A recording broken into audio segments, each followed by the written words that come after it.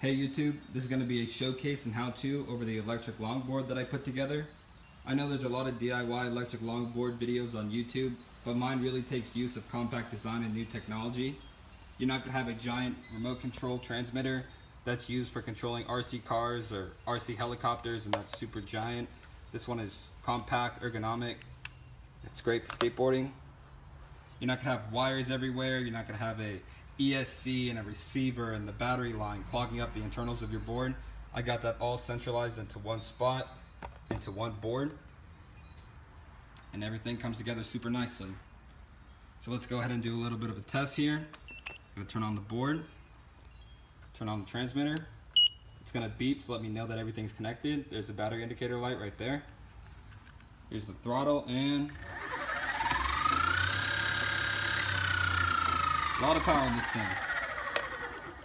Overall, I'm able to reach a top speed of around 17 miles per hour, a range of 7 miles with a 175 pound rider, and the overall weight of the board is a little bit under 12 pounds.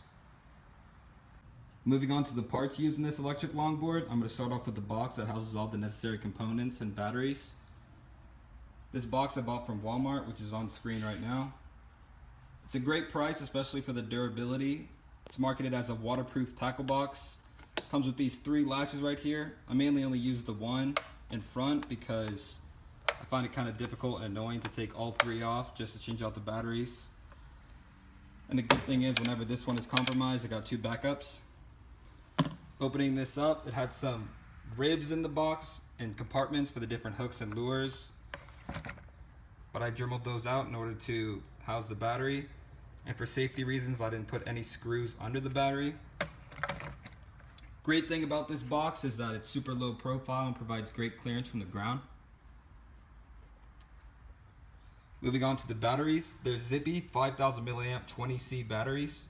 They're both three cells and I charge them up with this IMAX B6AC.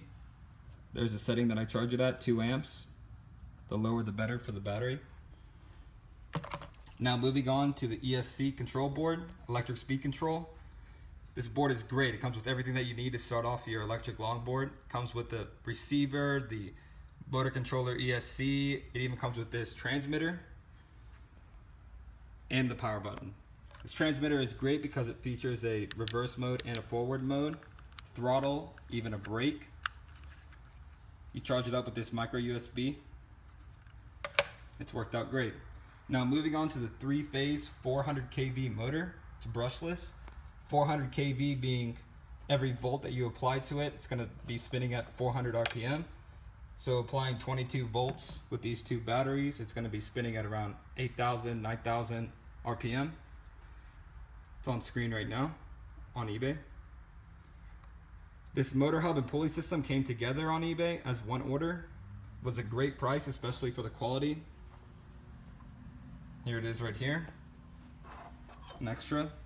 That's what it looks like. Everything is done using set screws. And here's the wheel that I use, large diameter. I bought it from Amazon.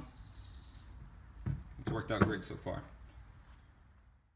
For the construction of the board, I want to start off with the motor and motor hub.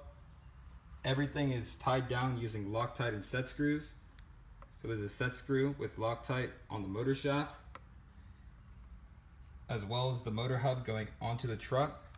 One of the biggest issues that I ran into was the belt grinding up against the wheel, as you can kind of see right there, was ribbling up against the wheel. But I fixed this by grinding down the truck a little bit, pushing the motor hub into the truck a little bit more, and that gave enough distance to clear the wheel. Now moving on to the gear and wheel system, there's a view for you guys right there. On your longboard wheel, there's a flat part and there's an angled part. The flat part faces into the wheel. So once you do that, you're gonna get your big gear. It looks just like this if you buy it from the kit. There's five holes and they're all threaded. You're gonna put a washer down right here. You're gonna put the gear just like that. And then you're gonna run, you're gonna drill five holes through the washer and through the entirety of the wheel. Once you do that, you're gonna put it down, everything down just like this, and you're gonna get your long M3 screws. There's the ones that I used. And you're gonna put that through the entirety of the wheel, through the washer, and through the gear. So it look should look just like this. And that's held up great. It might be deviating a little bit, but after a while the board seemed to balance itself out, correct itself through the human error of lining up all the holes which are necessary. Moving on to the internals of the box and how I mounted everything on the box down. The ESC board and the box are all mounted to the board using T-nuts. T-nuts are these right here. They look just like this. What you're gonna do is you're gonna drill a hole that's necessary for whatever you wanna mount, whether it be a light or the box. You're gonna drill a hole that's larger than the diameter of the T-nut, the outer diameter. You're gonna sink it into the hole. You're gonna put a washer wherever you want to in your box, and then you're gonna send a screw from the bottom and tie it up a little bit. And what that's gonna do, it's gonna sink the T-nut into the board with those spikes that you see right there. And that's gonna hold the T-nut and hold the hole placement into the board. So you're not gonna have any rattling or shaking.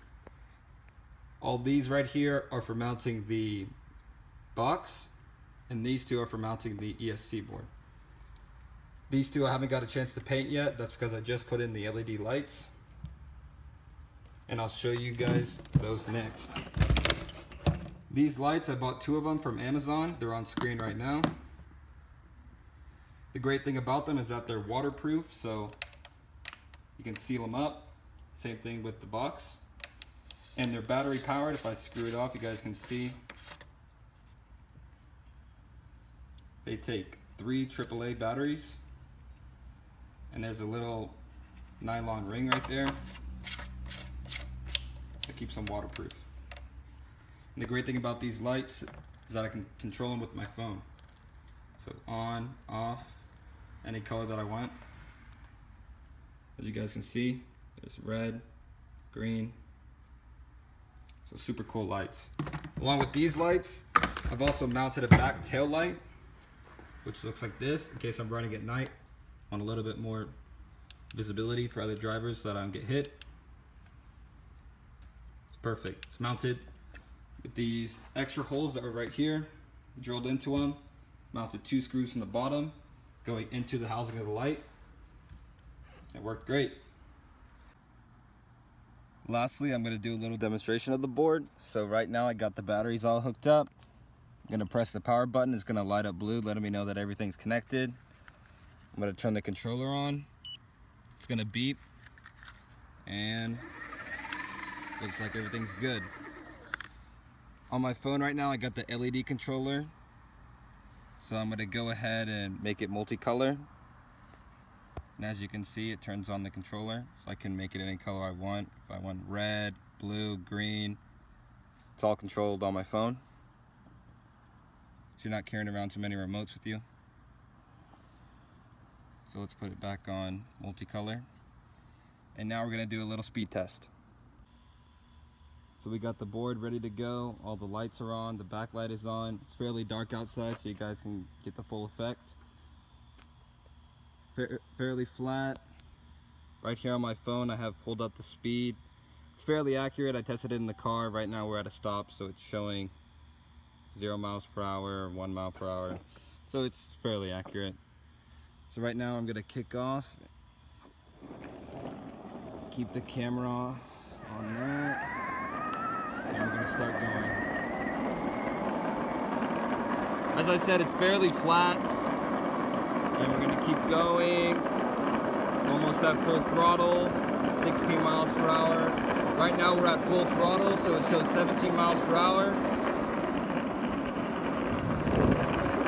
As you guys can see right there. And yeah this is the board